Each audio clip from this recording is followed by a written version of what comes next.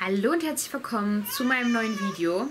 Ich habe mir in der Vergangenheit immer mal wieder Fragen notiert, die ihr mir gestellt habt, um die mal auch in Videoform länger beantworten zu können. Und das machen wir heute wieder. Und die Frage, die ich heute in diesem Video beantworte, ist, wie schaffst du es, alles unter einen Hut zu bekommen und gelassen zu bleiben? Ich glaube, das ist das größte Mysterium dieser Welt, wie Mütter um Himmels willen all das schaffen sollen, was sie zu schaffen haben und dann dabei auch noch gelassen bleiben. Ich kann euch aber so ein paar Tipps mit an die Hand geben. Aber bitte, das möchte ich nochmal wiederholen. Wir Mütter haben schon einen 40-Stunden-Job, in dem wir uns nur um Kinder und Haushalt kümmern. Und so viele von uns gehen zusätzlich auch noch arbeiten in Halbtagsstellen oder sogar in Volltagsstellen. Und dann arbeiten wir 60 bis 80 Stunden pro Woche. Und unsere Arbeitszeit beginnt morgens um 6 und endet abends um 20 Uhr. Das ist schon, wenn man das einfach so logisch betrachtet, zu viel und unmenschlich. Aber so ist unsere Gesellschaft nun mal leider aufgebaut. Herzlich willkommen im Patriarchat. So, das sind also unsere Lebensbedingungen, die man da schon prinzipiell ändern kann. Ne? Also auch da könnte man anstreben, eine 50-50-Partnerschaft zum Beispiel einzugeben. Dass die Kinderbetreuung der Haushalt, dass es alles 50-50 aufgeteilt wird. So als Beispiel. Ist in meinem Fall zum Beispiel nicht möglich, weil ich alleinerziehend bin und keinen Partner habe, mit dem ich das 50-50 aufteilen kann. Deswegen hier jetzt meine Tipps, wie man alles besser unter einen Hut bekommt. Ich finde ja, Organisation ist das A und O. Alles aufschreiben. Alles. Und damit meine ich nicht nur den Zahnarzttermin, sondern ich meine das Geld für die Schule, was mitgegeben werden muss. Der Geburtstag von XYZ und das dazugehörige Geschenk und dass ich das noch zu besorgen habe. Da kann es so Lauflisten geben.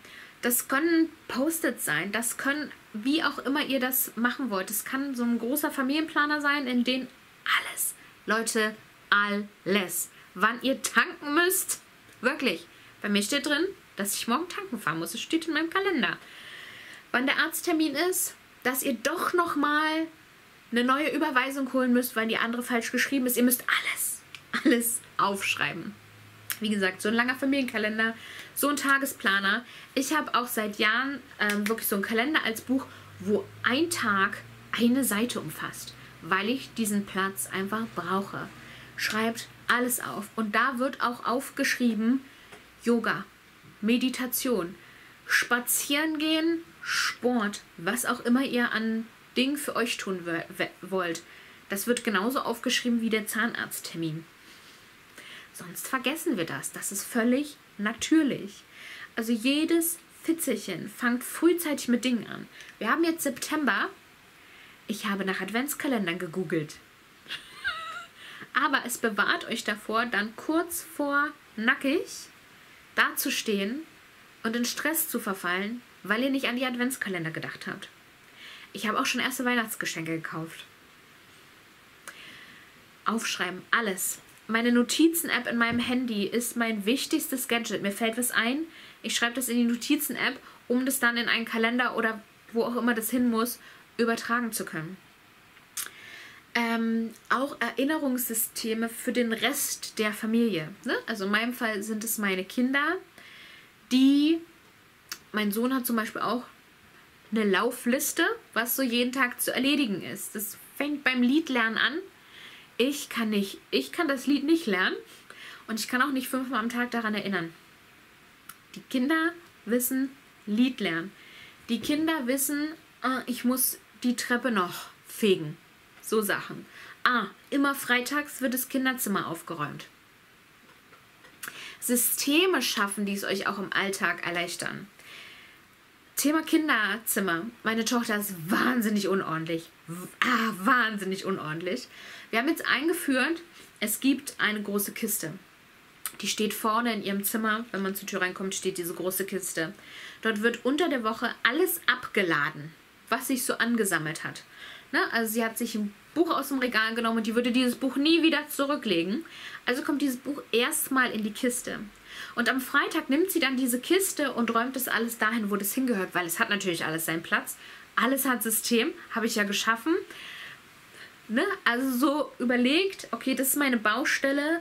Wie kann ich das verändern? Wie kann ich das besser machen? Wie kann ich die Menschen, die mit mir zusammenleben, mehr in die Verantwortung ziehen? Was kann ich auch abgeben?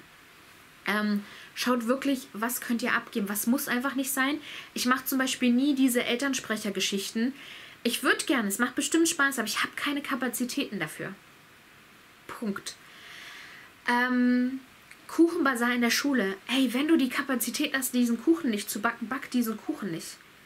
Wir machen das ja ganz oft aus diesem, oh, was sollen sonst die alten, anderen Eltern denken? Und ich mache das doch für meine Kinder. Ja. Aber du hast auch noch ein Leben und wir wollen möglichst mental und körperlich gesund bleiben. Und das funktioniert manchmal nur, indem wir zum Kuchenbazar keinen Kuchen backen. Also delegiere Sachen und wenn du sagst, Oma, hast du Zeit, den Kuchen zu backen? Delegiere Sachen oder mach Dinge einfach nicht. Meld dich einfach nicht freiwillig. und ich habe da mittlerweile keine. Ich sage, ich habe die Kapazität nicht und dann ist es Punkt.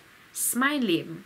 Es ist völlig egal, was andere darüber denken, dass ich irgendwas nicht tue. Ist nur wichtig, dass was ich darüber denke und dass ich gesund und mental fit dabei bleibe. Ähm, auch den Leistungsdruck natürlich rausnehmen, den Perfektionismus rausnehmen. Es muss nicht immer alles super ordentlich sein, es muss nicht immer alles perfekt sein, es muss nicht immer sein. Es muss gemacht sein, aber es muss nicht perfekt sein. Es muss kein Leistungsdruck dahinter stehen. Das ist natürlich was, mit dem unsere Generation viel aufgezogen wurde, weil auch schon die Generation vor uns damit aufgezogen wurde, mit diesem extremen Leistungsdruck und ähm, Liebe im Austausch gegen Leistungen. Also du hast was geleistet, dann wirst du gelobt und solche Dinge. Das steckt natürlich noch in uns. Deswegen haben wir Mütter auch dieses, dass wir alles selber machen und, und viel machen und hier noch einen Kuchen und ja, ich mache noch den Elternrat, weil in uns dieses Muster ist von Leistung erbringen und, und, und viel machen und viel leisten, weil wir dann Anerkennung vermeintlich bekommen und Liebe bekommen und Wertschätzung bekommen. Die Rechnung geht nur meistens nicht auf lasst es einfach sein.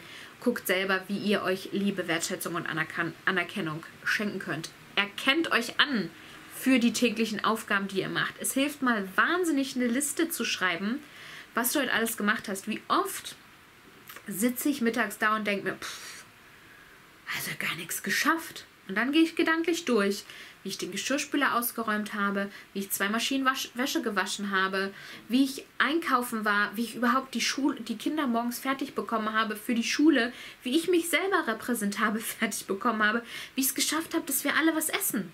Das sind so die, die Grundbedürfnisse. Dafür können wir uns wertschätzen und anerkennen. Und wir sollten das auf einer möglichst täglichen Basis tun, wenn nicht täglich, dann doch regelmäßig zu sehen, was wir wirklich jeden Tag leisten, was für Maschinen wir sind, wie krass wir sind. Niemand ist so krass wie Mütter. Niemand. Wir sind wirklich mega. Seht das, erkennt euch für das selber an, wertschätzt euch selber dafür. Ich habe mit einer Freundin eine Routine. Wir telefonieren immer am Ende eines Monats oder am Anfang des nächsten Monats und reflektieren den vorangegangenen Monat. Das heißt, wir treffen uns am, sag ich mal, letzten Tag im September und reflektieren unseren September zusammen. Und da kommen eben auch Punkte rein, wofür können wir uns anerkennen, wofür können wir uns wertschätzen. Das ist so wichtig, das selber zu tun, weil wir dann mit diesem Muster brechen, dass wir ganz viele Aufgaben übernehmen, um das von außen zu bekommen. Das ist Schwachsinn, das funktioniert nicht. Das ist wirklich ein toxisches Muster. Und dann war ja noch die Frage ähm, mit dem Gelassenbleiben. Also, um das mal realitätsnah zu machen, ich bin auch nicht immer gelassen. Nein, spätestens wenn es um Hausaufgaben geht, bin ich nicht mehr gelassen. Aber ich tue viel dafür, um gelassen zu bleiben. Es funktioniert nicht immer. Aber im Vergleich zu früher bin ich die Gelassenheit in Person. Im Vergleich zu früher bin ich sowas von tiefenentspannt. Und das habe ich tatsächlich geschafft und ich kann mich nur immer wieder wiederholen, indem ich täglich meditiere. Leute, es ist einfach so, ihr fahrt einfach komplett alles runter. Yoga hat sicherlich auch seinen Anteil daran, auch diese innere Arbeit auf ganz vielen Ebenen, hat auch alles einen Anteil daran. Das war meine Tür. Aber Meditation ist immer noch so the key. Wirklich. Und du fährst dein komplettes Nervensystem einfach runter und bist von Grund auf gelassener. Ne? Wenn wir überlegen, früher war meine Durchschnittsgelassenheit vielleicht hier, sondern ist man viel, viel schneller hier oben. Wenn heute meine Durchschnittsgelassenheit hier ist, komme ich ja nicht. Also da muss schon viel passieren. Versteht ihr? Also deswegen, zum Thema Gelassenheit ist ganz wichtig, dass ihr euch Zeit für euch nehmt, was ich jedes Mal sage, euch Zeit für euch nehmt, um Dinge zu tun, die euch nähren, die euch Freude machen, die euch persönlich einfach weiterbringen, die den Stress reduzieren, die euch entspannen lassen. Es können ganz unterschiedliche Dinge sein. Eine Freundin von mir, die strickt ungemein gern. Das, es muss nicht Meditation sein, aber irgend so etwas, was euch Freude macht, Zeit für euch, was euch entspannt, was Stress reduziert, ist da so wahnsinnig wichtig, weil auch damit steigern wir natürlich unsere Konzentrationsfähigkeit, unsere Leistungsfähigkeit. Dann schaffen wir es wiederum mehr, alles besser unter einen Hut zu bekommen. Das funktioniert nur, wenn wir gut auf uns selber achten, wenn wir Zeit in uns investieren, wenn wir gut für uns sorgen. Solltest du noch weitere Fragen zu dem Thema haben oder sagen, das hört sich alles wunderbar an, aber, und dann hast du so eine große Blockade oder Hindernis in deinem Kopf, schreib die mal gerne unten hin. Und ähm, ich gucke mir, was mir mal da so zu einfällt. Du, wie gesagt, Fragen oder auch anderweitige Tipps ähm, hast, vielleicht hast du noch Organisationstipps oder was auch immer, schreib die unglaublich gerne in die Kommentare. Auch sonstige Kommentare zum Inhalt dieses Videos sehr gerne. Das hilft mir nämlich hier mit dem Algorithmus sehr weiter. Gib mir auch gerne einen Daumen hoch. Abonniere den Kanal, wenn du es noch nicht getan hast. Und teile mein Video gerne mit anderen Müttern, Frauen, Menschen, die gerne besser alles unter einen Hut bekommen wollen und gelassener sein wollen. Und dann hoffe ich, dass euch das Video gefallen hat und wir sehen uns ganz bald wieder beim nächsten Mal. Bis dahin. Tschüss!